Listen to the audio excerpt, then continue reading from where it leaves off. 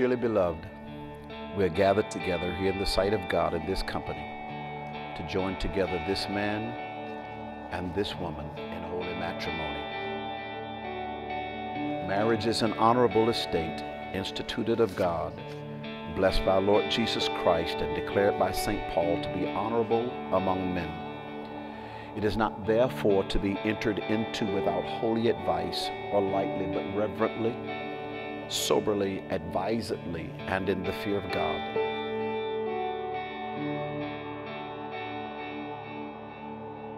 I, Robert Calhoun, Take thee, Sherry Hugger, take thee, Sherry Hugger, be my widow wife, to have to have and to hold and to hold, from this day forward, day forward, for better or for worse, for better or for worse, for richer or for for poorer, richer or for poorer, to love to love, and to cherish, to cherish, till death till death do us part. do us part.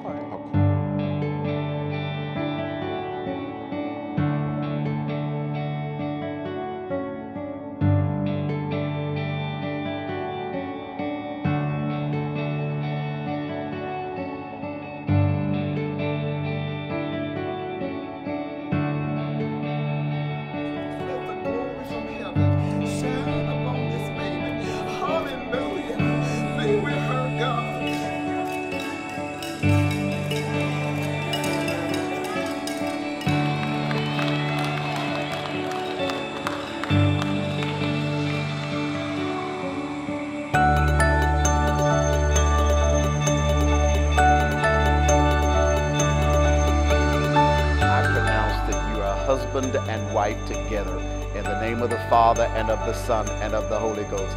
She is your bride. Salute your bride.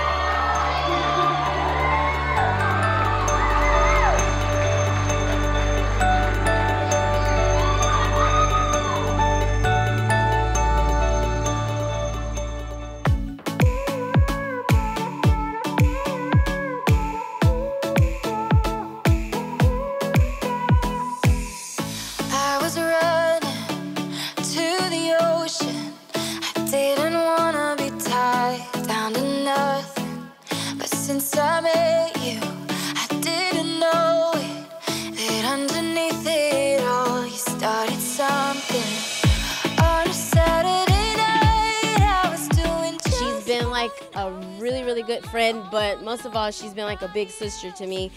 Um, whenever I needed her, she was always there. Even if she was having a bad day, she's always smiling like she is now. I really, really am happy for you guys, and I wish nothing but the best for you and my Sherry Louise, my sister Michael Mary.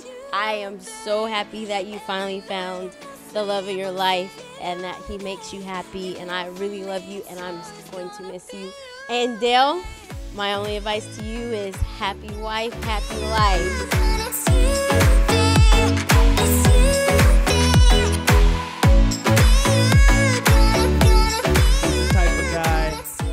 that uh, he will give you confirmation on what you need to hear, not the affirmation of what you want to hear.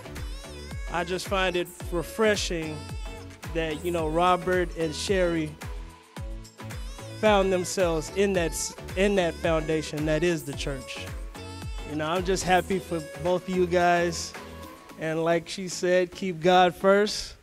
And uh, the only advice I have to mimic her again: happy wife, happy life.